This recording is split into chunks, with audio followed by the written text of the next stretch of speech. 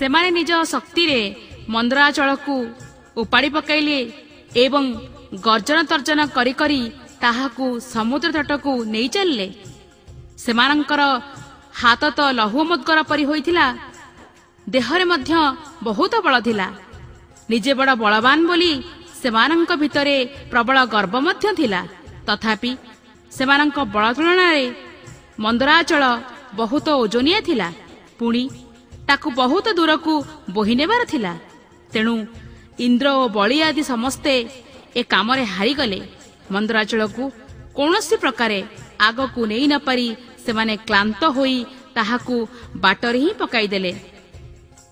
ସେହି ସୁନାର ମନ୍ଦରାଚଳ ଏତେ ଭାରି ହୋଇଥାଏ ଯେ ପଡ଼ିଯିବା ବେଳେ ତା ତଳେ ଚାପି ହୋଇ ବହୁ ଦେବତା ଓ ଅସୁର ପେଶି ହୋଇଗଲେ।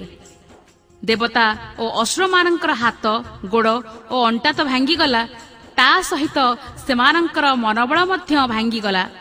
ସେମାନଙ୍କର ଉତ୍ସାହ ଭାଙ୍ଗିଯିବା ଦେଖି ଭଗବାନ ଗରୁଡ଼ ଉପରେ ବସି ସହସା ସେଠାରେ ଆବିର୍ଭୂତ ହୋଇଗଲେ। ସେ ଦେଖିଲେ ଦେବତା ଓ ଅସୁରମାନେ ପର୍ବତ ତଳେ ଚାପି ହୋଇ ପେଶି ହୋଇଯାଇଛନ୍ତି ତେଣୁ ସେ ନିଜର ଅମୃତମୟୀ ଦୃଷ୍ଟିରେ ସେମାନଙ୍କୁ ଚାହିଁଦେଲେ। ତା ଫଳରେ ସେମାନେ ଏଭଳି ସୁସ୍ଥ ଓ ଜୀବିତ ହୋଇଗଲେ ଯେ ଦେଖି ମନେ ହେଲା ସେମାନଙ୍କ ଦେହରେ ଯେପରି କୌଣସି ଆଘାତ ଲାଗିନାହିଁ ତାପରେ ଭଗବାନ ଖେଳିଲା ପରି ଗୋଟିଏ ହାତରେ ହିଁ ମନ୍ଦରାଚଳକୁ ଟେକି ଆଣି ଗରୁଡ଼ ଉପରେ ଥୋଇଦେଲେ। ସେ ନିଜେ ମଧ୍ୟ ଗରୁଡ଼ ଉପରେ ବସିଗଲେ ଏବଂ ଦେବତା ଓ ଅଶ୍ରମାନଙ୍କ ସହିତ ସମୁଦ୍ର ତଟକୁ ଯାତ୍ରା କଲେ। ପକ୍ଷୀରାଜ ଗରୁଡ଼ ସମୁଦ୍ର ତଟରେ ପର୍ବତଟିକୁ ରଖିଦେଲେ ଏବଂ ଭଗବାନଙ୍କ ନିର୍ଦ୍ଦେଶରେ ସେଠାରୁ ବିଦାୟ ନେଇ ଚାଲିଗଲେ। ଇତି ଶ୍ରୀମଦ୍ ଭାଗବତେ ମହାପୁରାଣେ ପାରମହଂସ୍ୟଂ ସଂହିତାୟଂ ଅଷ୍ଟମ ସ୍କନ୍ଦେ ଅମୃତ ମନ୍ଥନେ ମନ୍ଦରାଚଳା ନୟନମ୍ ନାମ ଷଷ୍ଠୋଧ୍ୟାୟ। ଅଥ ସପ୍ତମୋଧ୍ୟାୟ। ସମୁଦ୍ର ମନ୍ଥନ ଆରମ୍ଭ ଓ ଶିବଙ୍କର ବିଷପାନ। ସୁକଦେବ କହି ଚାଲିଲେ ହେ ପରୀକ୍ଷିତ ଦେବତା ଓ ଅସୁରମାନେ ନାଗରାଜ ବାସୁକୀଙ୍କୁ କହିଲେ ଯେ ସେ ମଧ୍ୟ ସମୁଦ୍ର ମନ୍ଥନରେ ଭାଗ ନିଅନ୍ତୁ। ତାଙ୍କୁ ମଧ୍ୟ ସମୁଦ୍ର ମନ୍ଥନରୁ ପ୍ରାପ୍ତ ଅମୃତର ଭାଗ ମିଳିବ ଏପରି ପ୍ରତିଶ୍ରୁତି ଦେଇ ତାଙ୍କୁ ସମୁଦ୍ର ମନ୍ଥନରେ ସମ୍ମିଳିତ କରିଦେଲେ। ସେମାନେ ବାସୁକୀ ନାଗକୁ ମନ୍ଥନ ରଜ୍ଜୁ କରି ମନ୍ଦର ପର୍ବତରେ ଗୁଡ଼ାଇ ଦେଲେ ଏବଂ ଅଣ୍ଟା ଭିଡ଼ି ଅମୃତ ପାଇବା ନିମନ୍ତେ ବଡ଼ ଆନନ୍ଦ ଓ ଉତ୍ସାହର ସହିତ ସମୁଦ୍ର ମନ୍ଥନ ପାଇଁ ପ୍ରସ୍ତୁତ ହୋଇଗଲେ।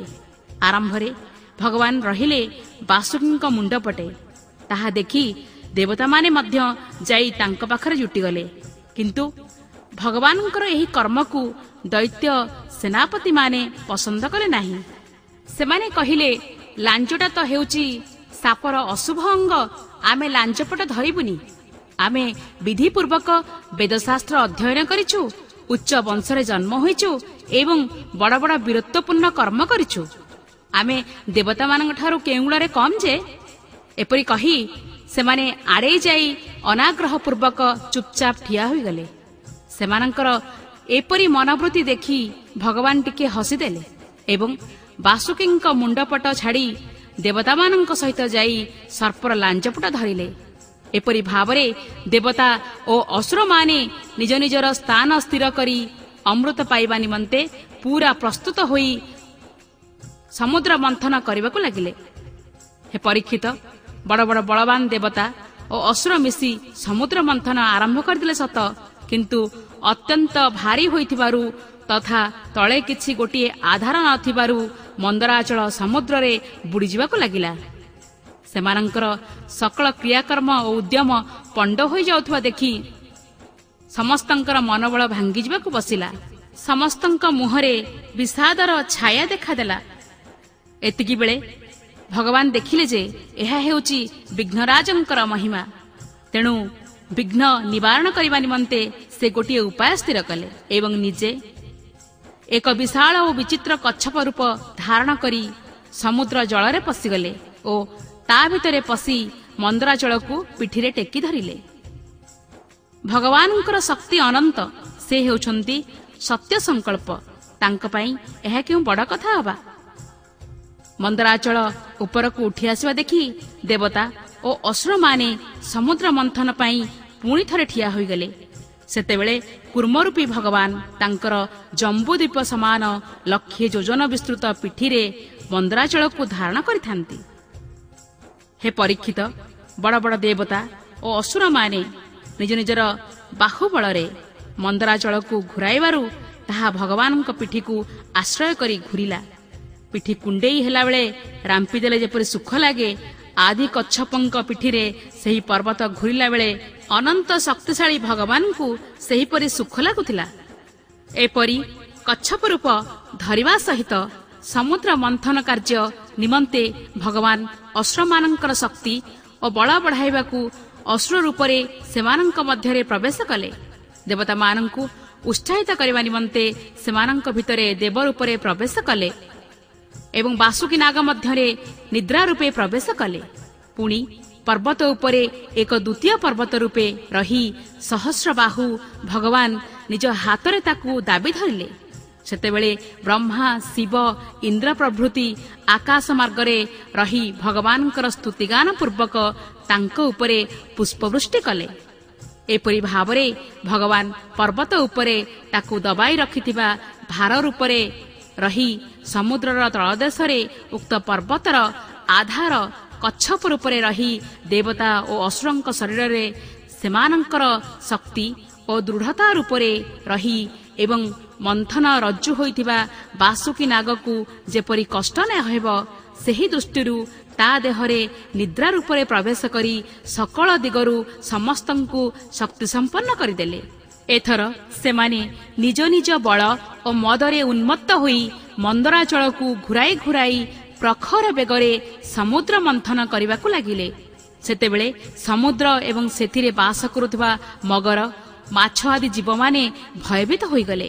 ନାଗରାଜ ବାସୁକୀଙ୍କର ହଜାର ହଜାର କଠୋର ନେତ୍ର ମୁଖ ଓ ଶ୍ୱାସରୁ ବିଷାକ୍ତ ଅଗ୍ନି ନିର୍ଗତ ହେବାକୁ ଲାଗିଲା।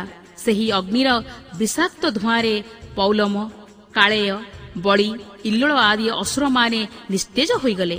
ସେମାନଙ୍କୁ ଦେଖି ମନେ ହେଲା ସତେ ଯେପରି ବଡ଼ ବଡ଼ ଶାଳ ଗଛ ଗୁଡ଼ାଏ ଦାବାନଳରେ ପୋଡ଼ି ନିସ୍ତେଜ ହୋଇ ଠିଆ ହୋଇଛନ୍ତି। ଦେବତାମାନେ ବି ସେହି ବିଷଜ୍ୱାଳାରୁ ରକ୍ଷା ପାଇଲେ ନାହିଁ। ବାସୁକୀଙ୍କ ଶ୍ୱାସର ଉତ୍ତାପରେ ସେମାନଙ୍କର ତେଜ ମଧ୍ୟ ମଉଳିଗଲା। ସେମାନଙ୍କର ବସ୍ତ୍ର ମାଳା କବଚ ଏବଂ ମୁଖ ଧୂମାଭ ହୋଇଗଲା। ସେମାନଙ୍କର ଏଭଳି ଅବସ୍ଥା ଦେଖି ଭଗବାନଙ୍କ ପ୍ରେରଣାରେ ମେଘମାନେ ସେମାନଙ୍କ ଉପରେ ଜଳବର୍ଷା କରିବାକୁ ଲାଗିଲେ ଏବଂ ବାୟୁ ସମୁଦ୍ର ତରଙ୍ଗକୁ ଛୁଇଁ ଛୁଇଁ ସେମାନଙ୍କ ଉପରେ ଶୀତଳତା ଓ ସୁଗନ୍ଧ ସଞ୍ଚାର କରିବାକୁ ଲାଗିଲା। ଦେବତା ଓ ଅଶ୍ରମାନେ ମିଶି ଏପରି ଭାବରେ ସମୁଦ୍ର ମନ୍ଥନ କରିବା ସତ୍ତ୍ୱେ ଅମୃତ ନ ବାହାରିବାରୁ ସ୍ୱୟଂ ଅଜିତ ଭଗବାନ ସମୁଦ୍ର ମନ୍ଥନ କଲେ। ପ୍ରଭୁଙ୍କର ମେଘ ସମାନ ଶ୍ୟାମଳ ଶରୀରରେ ସ୍ୱର୍ଣ୍ଣପ୍ରଭ ପିତାମ୍ବର ଶୋଭା ପାଉଥାଏ ଏବଂ କର୍ଣ୍ଣରେ ଶୋଭା ପାଉଥାଏ ବିଜୁଳି ପରି ଚକଚକ୍ କରୁଥିବା କୁଣ୍ଡଳ। ଶିରରେ ଲହରୀ ଖେଳୁଥାଏ କୁଞ୍ଚିତ କେଶ ନେତ୍ରରେ ଲାଲ ଲାଲ ରେଖା ଏବଂ ଗଳାରେ ବନମାଳା ଅତି ମନୋରମ ହୋଇଥାଏ ସକଳ ଜଗତକୁ ଅଭୟ ପ୍ରଦାନ କରୁଥିବା ନିଜର ବିଶ୍ୱ ବିଜୟୀ ଭୁଜଦଣ୍ଡରେ ବାସୁକୀ ନାଗକୁ ଧରି ଏବଂ କୁର୍ମ ରୂପରେ ପର୍ବତକୁ ଟେକି ଧରି ଭଗବାନ ଯେତେବେଳେ ମନ୍ଦରାଚୂଳ ରୂପ ମନ୍ଥନ ଦଣ୍ଡରେ ସମୁଦ୍ର ମନ୍ଥନ କରିବାକୁ ଲାଗିଲେ ସେତେବେଳେ ସେ ଏକ ଦ୍ୱିତୀୟ ପର୍ବତରାଜ ସମାନ ଶୋଭା ପାଇଲେ।